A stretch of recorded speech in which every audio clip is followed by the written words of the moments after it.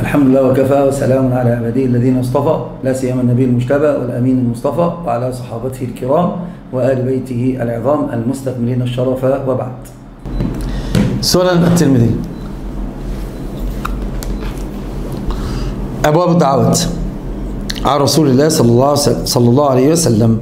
قال باب ما يقول إذا خرج مسافرا.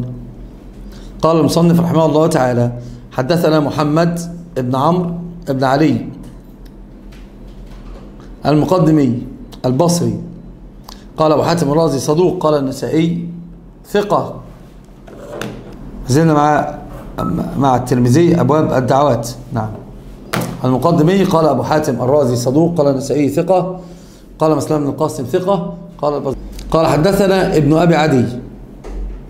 محمد بن إبراهيم بن أبي عدي السلمي مولاهم البصري.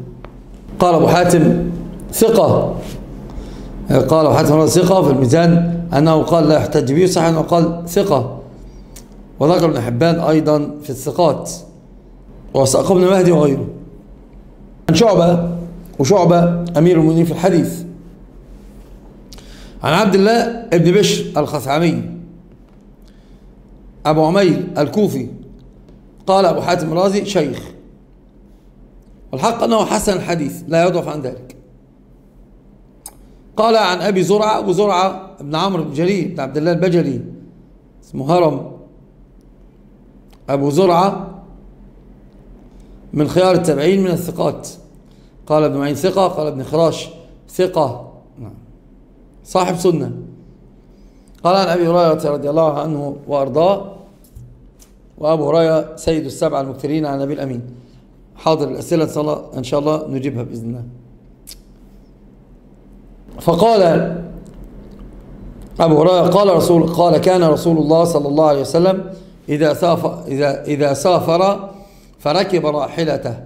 قال بإصبعه ومد شعبة ومد شعبة إصبعه يعني كأنه إلى السماء. قال اللهم أنت الصاحب في السفر. والخليفة في الأهل. اللهم اصحبنا بنصحك واقلبنا بذمة اللهم ازوي لنا الأرض وهون علينا السفر. اللهم إني أعوذ بك من وعثاء السفر وكآبة المنظر المنقلب. قال الترمذي كنت لا أعرف هذا إلا من حديث ابن أبي عدي حتى حدثني به سويد. وبسندي عن شعباء بهذا الإسناد نحو قال هذا حديث حسن غريب من حديث أبي هريرة ولا نعرفه إلا من حديث ابن أبي ابن إلا من حديث ابن أبي عدي عن شعبة نعم. هذا حديث عظيم يبين لنا كيف أن الإنسان في حله وترحاله أفقر ما يكون إلى الله جل في علاه وأفضل ما يتقدم به العبد عبادة الله جل في علاه أن يظهر افتقارا وحاجة لله جل في علاه أن يظهر الافتقار والحاجة إلى ربه جل, جل في علاه فيفتقر إلى الله بإظهار العجز والنقص. وأنه لا حول له ولا قوة إلا بالله جل في علاه. وأنه لا يتحول من شيء إلى شيء من ضعف إلى قوة من معصية إلى طاعة إلا بالله إلا بالله. قال أنه إذا كان إذا أراد أن يسافر ركب الراحلة وماذا يقول؟ يدعو بعد ما يشير بإصبعه. والإشارة هنا فيها فيها علامة عقدية مهمة. الإشارة إشارة النبي صلى الله عليه وسلم أشار بإصبعه والإشارة تكون إشارة إلى السماء. فيها فيها لمحة عقدية مهمة. ما هي؟ هناك لمحة عقدية مهمة في هذا الباب. ما هي؟ التوحيد وإشارة إلى السماء لعلو الله جل في علاه والافتقار والدعاء بأن الذي في السماء هو الذي يرعاه. نعم أشار بإصبعه. ممتازين. جزاكم الله خيرا. التوحيد التوحيد مع مع مع صدق اللجأ لله جل في علاه مع إظهار الافتقار. قال النبي طبعا هذا الإشارة لابد أن تفهمها أنها رد على الأشاعرة الذين ينهون عن الإشارة. أشار ثم ثم ما قال؟ قال اللهم أنت الصاحب في السفر. أشار ثم قال اللهم أنت الصاحب في السفر أي أنت أي أنت المعين. وأنت معناها هنا المصاحبة معناها الملازمة. وهذه لا تنافي لا تنافي العلو. فهو هنا استجراري في الدعاء لمعية الله جل في علاه. اللهم أنت صاحب السفر هنا يستدعي ويستلزم المعية معية الله جل في علاه. فهو هنا يستدعي المعية معية الله جل في علاه أنت صاحب السفر أنت معي ربي. ومن كان معه الله فمن عليه. ومعية الله هنا معية التوفيق والتسديد والنصرة والتأييد. هذه معية الله جل في علاه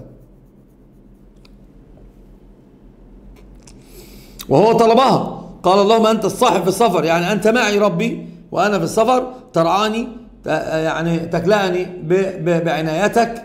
وأنت القوي القادر. توفقني وتسددني وتجعل السفر سفرا مباحا سفرا طيبا سفرا مباركا وأن أذهب إلى مآربي وأيضا أن تكون معي مسددا ومعينا ومعضدا وموفقا. نعم. ونصيرا. فطلب معية الله جل في علاه هنا. قال اللهم أنت الصاحب في السفر بيدعو الله جل في علاه أن يكون الله جل في علاه الصاحب في السفر يعني يكون معه في السفر. فإن كان معه كما يقول النبي أن هذه المعايا المعايا الخاصة يعني هو طلب المعايا الخاصة لا المعايا العامة المعايا العامة هي معاية الإحاطة للجميع. فتكون هذه المعايا الخاصة معاية النصرة والتوفيق والتسديد والحفظ والكلأ والرعاية كما قال الله تعالى تجري بأعيننا إنك بأعيننا. فتكون هذه المعية معية الحفظ والتأييد والتسديد والتوفيق. نعم. اللهم أنت الصاحب في السفر والخليفة في الأهل. طبعا هنا إذا كنت معي في السفر فأنت تخلفني في أهلي. أنت تقوم أنت القائم بأمرهم وشؤونهم وتدبر أمرهم. كما قال الله تعالى وكان أبوهما صالحا فأراد ربك أن يبلغ أشدهما ويستخرج رحمته واستخرج كنزهما رحمة من ربك. وما فعلته عن أمري ذلك تأويل ما لم تستطع عليه صبر الغلط. المقصود أنه قال وأنت معي في السفر موفقا معضدا ونصيرا.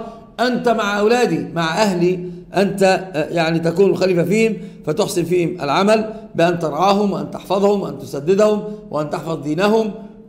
فهنا كأنه يدعو الله وكن الخليفة في أهلي فأنا أعتمد عليك أنت لا غيرك وأنت الذي ترزق وأنت الذي توفق وأنت الذي تعطي وأنت الذي آه، ترعى. فلذلك قال أنت ارعى أهلي.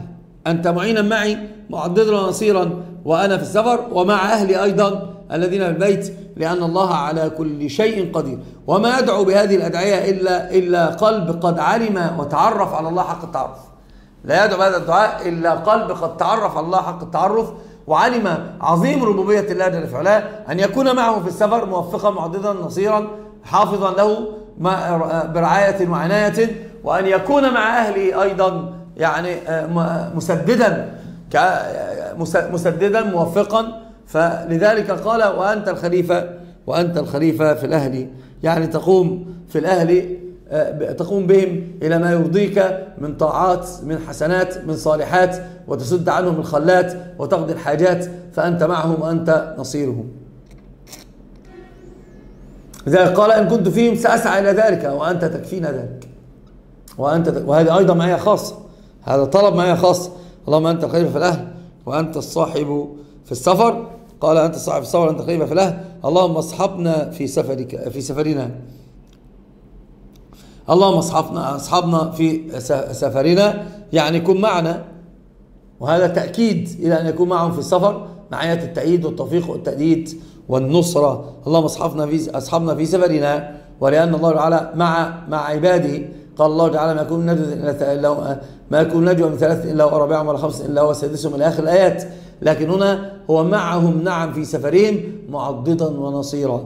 لذلك قال قال اللهم اصحبنا في السفر ارعانا واكلأنا وازوي لنا الأرض كما سيأتي.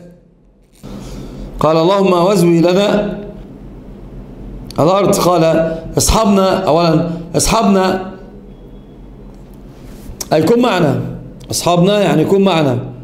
واقلبنا بذمة وفي رواية واقلبنا في بذمتك أي وارجعنا بأمانك وعهدك, وعهدك إلى بلدنا. واقلبنا يعني اجعل خير المنقلب أن نذهب إلى أهلنا سالمين غانمين.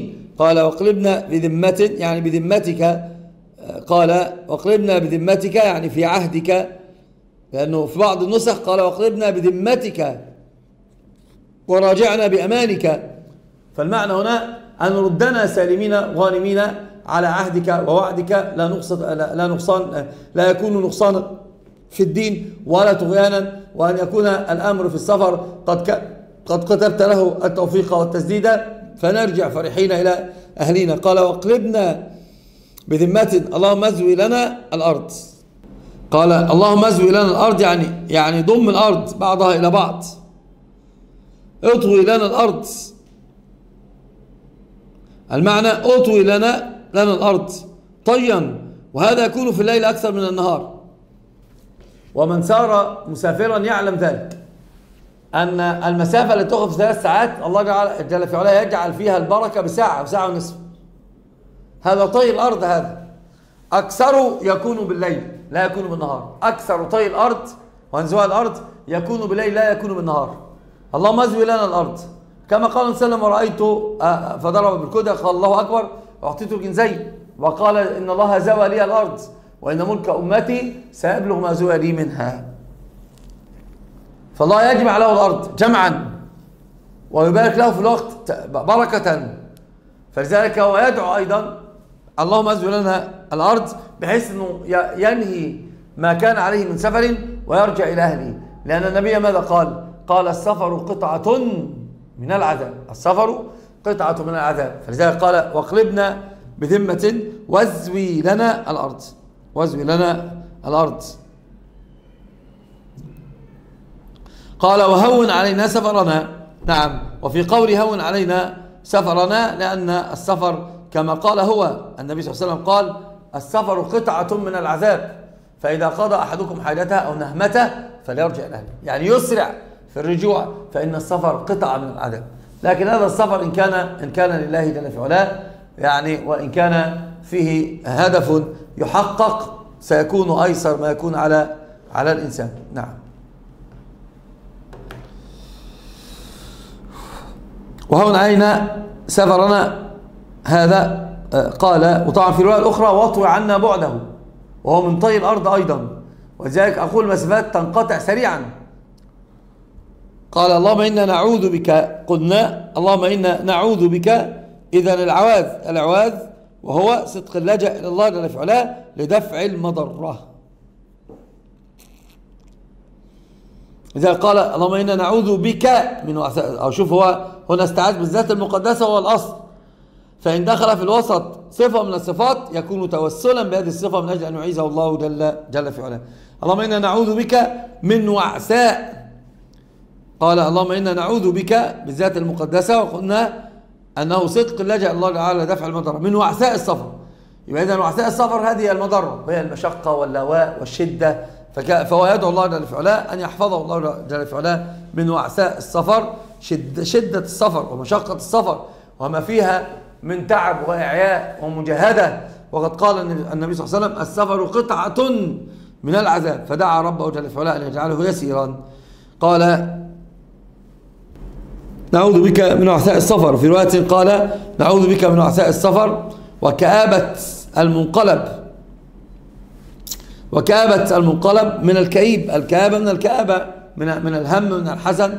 يعني لا يرد إلى أهلي بعد سفر إلى هم وغم وحزن. ف يعني يدخل عبوسا ويخرج عبوسا ويكون فيه ما فيه من الوحشة بين الزوج وزوجه فهو إن كانت تجارته رابحة وإن كانت صفقته رابحة وإن كان قد أنجز ما أراد في السفر فإنه يرجع فرحا مسرورا يسرع إلى أهله و- يعني من سفره والله تعالى يطوي له الأرض. فلذلك وقال أعوذ بك من كآبة المنقلب. وفيها رواية كآبة المنظر وسوء المنقلب. الرواية الأخرى قال أعوذ بك من كآبة المنظر وسوء المنقلب. كآبة المنظر بأنه كما قلنا يكون عبوسا الهم والغم, والغم علاه فماذا يفعل؟ يعني يصاب بالهم والغم. وسوء المنقلب. في المال وأهل أن أن ينقلب الأهل فيجد فيهم آه، يعني مصيبة أو يجد فيهم موتا أو يجد فيهم شيئا آه، يعني آه، يزعجه فهذا كله فيه فيه شيء من البلاء الشديد. على المسافر لذلك كان يدعو الله جل في علاه وأعوذ بك من من كآبة المنظر وسوء المنقلب. في المال والاهل والاولاد وقال أعوذ بك من من كآبة المنق- المنقلب. والحق أنه قال سوء المنقلب في رواية. المنقلب وفي الرواية الأخرى قال وأعوذ بك من الحور والكور الحور بعد بعد الكور يعني هنا يعوذ يستعيذ بالله من الردة وأن يبقى وأن يبقى ثابتا على دين الله جل في علاه. فيستعيذ من أن يرد على على يرد على عن ويتراجع عن دينه. فقال نعوذ بك من الحور بعد بعد الكور وكما قلنا بأنه بعد الثبات وبعد السداد وبعد الرشاد يحتاج المرء إلى إلى أن يلظ بالدعاء وأن يجتهد فيه متزللا إلى أن يثبته الله جل في علاه وأن يثبت الله الخير الذي هو فيه. لأن من أحب الله ثبت له هذا الخير الذي هو فيه. من أحب الله ثبته الله على كل خير. قال من الحول يعني نعوذ نعوذ برضوانك من الردة نعوذ بك من الرجوع على الرد على على العاقب. بل لابد من الثبات والسداد والرشاد والتقدم. وأنت في كل يوم في صباح مساء تقول اهدنا اهدنا الصراط المستقيم. فنعوذ بك من الحور بعد الكون. قال ومن دعوة المظلوم. لا تكن لا تكن في سفرك متجرعا على مظلوم فإن الأمر جلل عند الله جل جل في علاه. فإياك ثم إياك. ذلك عندنا بعض أصحابنا الأفاضل الأماجد. يعني يسأل يقول يعني على الجميع حتى لو كان كافرا؟ نعم حتى لو كان كافرا. لأن في الطبراني وفي غيره أن النبي صلى الله عليه وسلم قال قال بعدما حذر من, من الظلم قال اتقوا دعوة المظلوم فإنه ليس بينه وبين الله حجاب. في الأخرى قال إن الملائكة خرت سجودا لله جل في علاه عندما فزع عن قلوبهم. يدعون ربهم فإذا كان المظلوم داعيا هؤلاء يستجاب لهم فيستجاب له الملائكة تؤمن. ولذلك قال قال ابن عمر قال النبي صلى الله عليه وسلم إياكم اتقوا دعوة المظلوم ولو كان كافرا اتقوا دعوة المظلوم ولو كان ولو كان فاسقا.